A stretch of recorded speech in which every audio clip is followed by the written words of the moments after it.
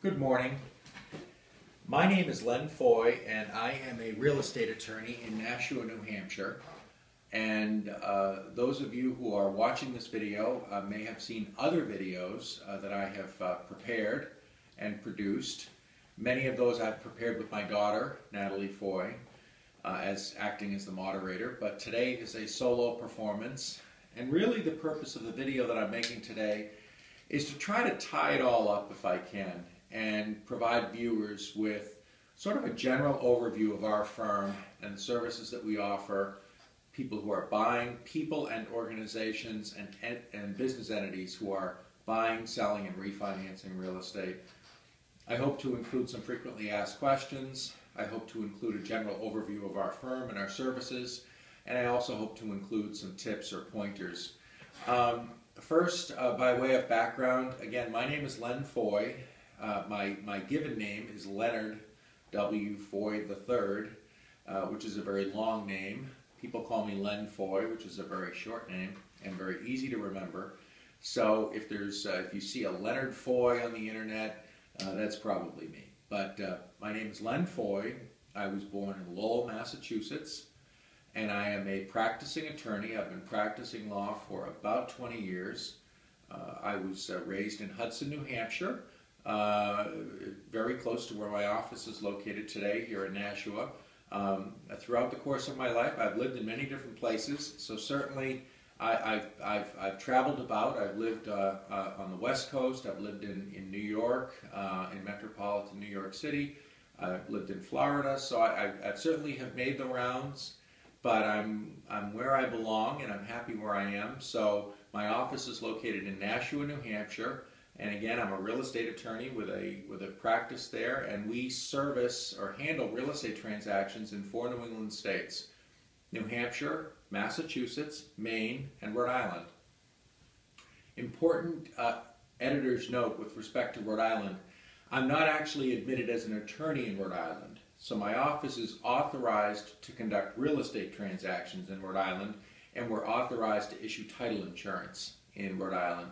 More about title insurance either later in this video or perhaps in another video segment. Um, so uh, basically, I, have been practicing law for about 20 years. I was admitted to practice in the state of California in February of 1995, so I've got my 20 year anniversary coming up next February. And in that 20 years time, I've handled just about every case you can imagine. I've handled divorce cases, I've handled accident cases, I've handled, I've prepared trusts for people. I've prepared wills. Uh, I've probated estates. Um, I really, I've had a very diverse and very rich history uh, in the practice of law. But, but and, I've, and, and, certainly throughout that time, I've been handling real estate matters. I, I handled my first real estate matter uh, within a month or so of being sworn in. Uh, so real estate has always been um, a part of my uh, a part of my practice. But since 2002 or thereabouts, my practice has consisted almost entirely of real estate matters. So um, certainly for the last 12 years uh, of my practice, uh, my practice has been 99% real estate and 1% perhaps a few other assorted matters. Um, so uh, I would consider myself to be a real estate attorney. That is the focus of my practice. That's the concentration of my practice. Um, I'm, uh, we handle real estate matters in New Hampshire, Massachusetts, and Maine. Uh, that includes representing buyers of real estate. It includes representing sellers of real estate. It includes representing lenders, which include banks, mortgage companies, credit unions, um, and um, and any other uh, and any other type of lender, perhaps a family member who is making a loan in connection with a real estate transaction. So it could be the biggest bank, or it could be the smallest local lender, uh, and, and, of course everyone in between. Um, the scenario might be that you are in the process of buying a piece of real estate, or you may be in the process of selling a piece of real estate if you are, or if you're refinancing a piece of real estate which you already own, if you are currently engaged in that process, please call my office. Um, I have a considerable amount of experience practicing law, a considerable amount of real estate experience and, and legal real estate experience, and I know that I could be of service to you and a benefit to you, and that I would help you through that process, which can be oftentimes complicated, complex, um, laden with traps, whatever the case may be. Real estate, in my view, and again, as somebody who's been who has been handling real estate matters for about 20 years, real estate has probably reached its high water mark, in my opinion, of complexity and difficulty. And, and I could do a video segment on that. I, I think it, it, it's very, it, it's cultural, it, it's the way we've evolved, it's, it's email, it's the immediacy of communications, it's, I think, our expectations that communications and, and, and return communications be conducted with some sense of urgency and immediacy. So um, I still remember the dawn of the fax machine and how the fax machine uh, transformed our practice. I remember the word processor, and I remember older attorneys in a firm where I once worked that didn't actually utilize a word processor and, and, and used a typewriter. So I've seen technology change our business, and I think technology has changed the real estate business as much as any. Um, consultations. Um, consultations are always free. So if you have an interest in working with me or, or, or you want to at least explore the possibility of working with me, I hope that you'll give my office a call. And certainly the consultation will be at no charge. So we can actually lay out uh, the scenario, whatever it might be, whatever you are contemplating doing, whether you're buying, selling, or refinancing real estate, and then we can, uh, I can try to give you a sense of where I might be able to help you, uh, the likely or projected cost of my assistance, and we can go from there. And if you make a decision not to utilize my services, which I hope that you decide to use me, but if you decide against it, uh, certainly the consultation costs you nothing. Um, frequently asked questions. There are so many of them. Um, I would say that uh, probably chief among them would be, you know, one of the, we'll cover a couple of frequently asked questions. These are the ones that I hear all the time. When should I hire an attorney if I'm in the process of buying, selling, or refinancing real estate? Anecdotally, uh, I can tell you there have been times when friends of mine, associates of mine, colleagues of mine have called me a week before a real estate closing and said, okay, I think it's time that I bring you in. And, and by the way, bring me in at any time. Bring me to the closing if that's if that's all that cir circumstances allow for. So if you need a ride to the closing or you want me to, to, to accompany you to a closing and that's the most notice you can give me and that's, and that's the extent of my involvement, then that will be the extent of my involvement.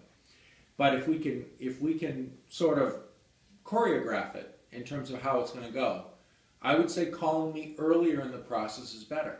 I have had people call me, reach out to me, and say, hey, I'm closing in a couple of weeks and I want you to handle my closing. And at that point, it's too late. It won't always be too late, but it sometimes can be too late. Uh, decisions have already been made about which attorney is going to handle the closing, and uh, and it's uh, it's it's it's at a point when to bring me in means that somebody else basically gets the file taken away from them, and it creates some political disturbances and kind of upsets the apple cart. So I would say that as a general proposition, the earlier you contact me in the process, the better, and that way we can kind of lay out everybody's respective roles in terms of who's going to be the attorney handling the closing, who's going to be the attorney representing the lender. Another question that I get asked a lot is can I represent both a buyer and their lender in a real estate transaction, or do different attorneys need to represent each party? Great question and frequently asked. Uh, generally speaking, and I say generally speaking, obviously there are exceptions to every rule, but more often than not, it's appropriate for, for a single attorney to represent both the bank, the lender, and the buyer, the buyer's, you know, the, the, the, the, the person to whom the lender is making the loan, simultaneously in the same transaction. Obviously, the bank needs to be okay with it, the buyer needs to be okay with it, but I certainly have had people approach me and say, is that kosher can I do that? Can we do that? And the answer more often than not is yes, we can. We frequently do. And there are typically cost savings involved for people that utilize that kind of an arrangement, as opposed to having a separate attorney for themselves and a separate attorney for the lender. Can a single attorney represent a buyer and a seller in the same transaction? No, that's prohibited because obviously there would be a conflict of interest between those parties and, and, and no amount of disclosure or consent can really iron over uh, those uh, profound conflicts of interest that would exist between a buyer and a seller and a single attorney attempting to represent both sides. So those are a couple of frequently asked questions. Tips. I love to throw out tips. I love tips myself. If anyone, if uh, you know, if anyone ever threw me a cooking tip or a golf tip, or you know, we all I think perk up for that because we're all looking for shortcuts. Eh, shortcut probably doesn't have the greatest connotation, but I think I think you probably catch my catch my drift. We're all looking for a way to avoid the hard knocks, learning things the hard way. Uh, if somebody can say, listen, rather than going, you know, this difficult path to get to where you're going, go this way. You'll get there faster, smoother, easier, less expensively. So most of us gravitate to that. Um, a couple of tips that I can throw out. If you are buying or selling or refinancing real estate, you should always at least explore the possibility of hiring an attorney. You should explore it. I'm not saying that you're going to need an attorney every time, although I could make that case, but you should at least explore the possibility of having an attorney advise you and assist you throughout the process.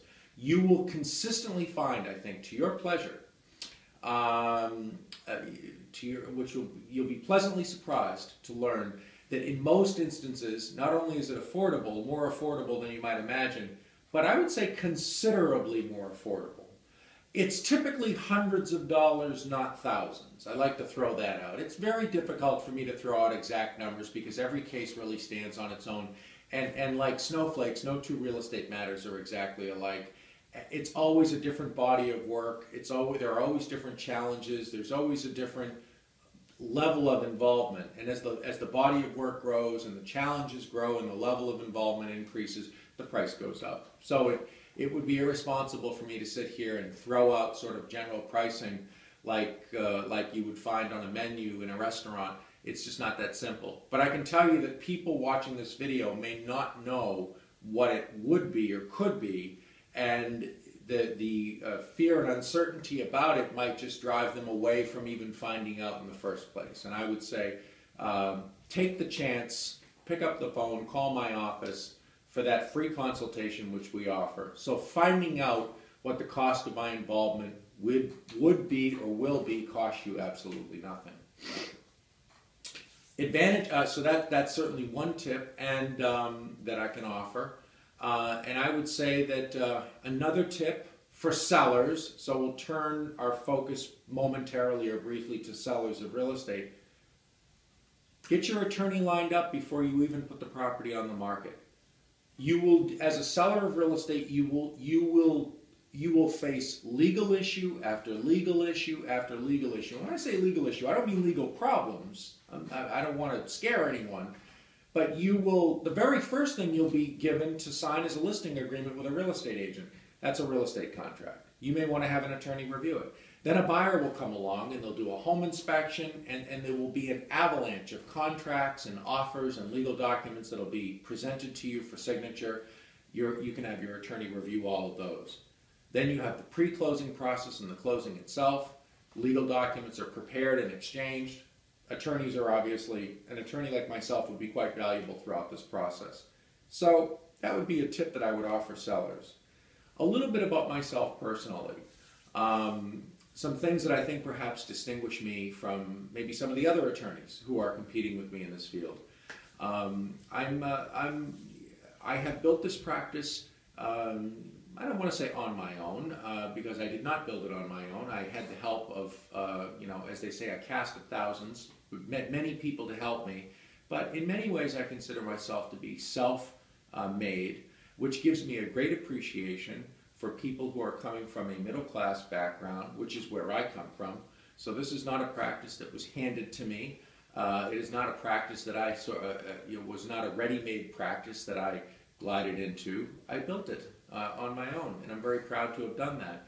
And I built something not just for myself, but for my clients. And that is what guided me throughout this process. That I was not building this law firm just for me. I was building it for my clients, a place where people could come to get quality legal services at a reasonable, affordable cost. Um, I consider myself to be a person with a lot of integrity and a big heart and a lot of kindness and understanding. So I feel like I have a lot of qualities that help me empathize with other people and certainly empathize with clients, which I think empathy is, is something that's very much needed in this process and needed in our profession. Um, my work ethic is, as far as I'm concerned, second to none. So I'm an attorney who is actively involved on a daily basis in the process of running this firm um, to the very best of my ability. I don't take a lot of time off. I don't check out or duck out of the office early. Uh, most nights I'm here working late, uh, working on behalf of my clients tirelessly. So I'm not some uh, attorney who's out uh, water skiing or traveling or seeing the world. Uh, while my um, surrogates are in the firm running it and catering to the needs of my clients. I'm here in the firm catering to the needs of my own clients with the help of a friendly, experienced, and knowledgeable staff uh, who also uh, have share my values in terms of my work ethic. Um, experience. I think experience is, is critically important, and I have a ton of it because, because of how hard I work and because of the way I've run this firm. Uh, we handle, uh, over the course of my practice over the course of my career, I have handled literally thousands of real estate transactions. That's because we do so many of them, not only monthly, but yearly and, and year upon year upon year. So when you walk into my office and talk to me about a real estate transaction, you're not speaking to an attorney who's detached from his or her practice, who's handled some real estate here and there, uh, who handles real estate transactions to help with cash flow but whose real passion lies in estate planning or car accidents or divorce or whatever the case may be. You're speaking with an experienced real estate attorney who does essentially nothing but real estate and a ton of it at that. So we handle anywhere in the vicinity of, I don't know, a bunch of real estate transactions monthly, which is hundreds going on a thousand transactions a year, and multiply that over the number of years that I've been practicing law, and you'll be consulting with an attorney who has handled a lot of real estate transactions, seen a lot of fact patterns, seen a lot of variations upon the fact patterns, and who has the experience to counsel you appropriately and accordingly under your under your circumstances and the challenges presented by your by your uh, circumstances.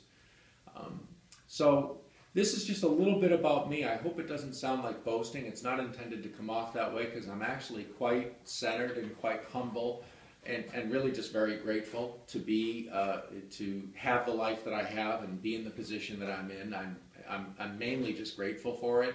Uh, so I don't hope it doesn't come off as grandstanding or being a blowhard. Uh, but I do want to confidently assert myself and let, let clients know that they can have confidence, not just in this firm, but in me as the president of the firm. So, these are my early morning remarks here on December 3rd, 2014. It's the holiday season, and I hope everybody has a wonderful holiday. Uh, my name is Leonard Foy. Uh, everyone, again, everyone calls me Len Foy. I'm the president and managing attorney of Foy Law Office PLLC.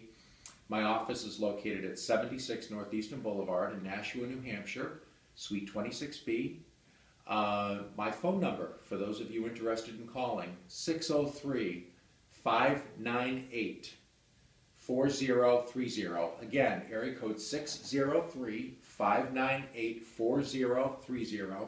We are on the World Wide Web, and I'm proud of that. Uh, not everybody though? Um, www.foylawoffice.com. My email address is lfoy, so my first initial L, my last name Foy, F-O-Y, at foylawoffice.com. And if you'd like to send me a fax, you can send me a fax at 603-598-4020. Um, again, I hope to hear from you. I enjoy making these videos very much. I think I'm getting better of them, better at them as I go along. Uh, when I start to regress, I'll probably stop making them. Um, that's a joke.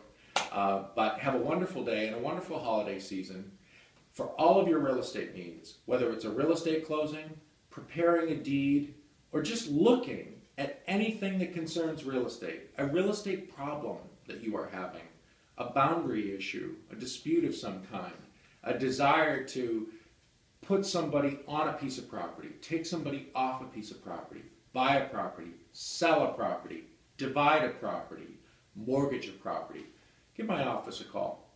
We'll do our best to help you and at an affordable price or rate. Thank you very much for watching this video. Have a wonderful day.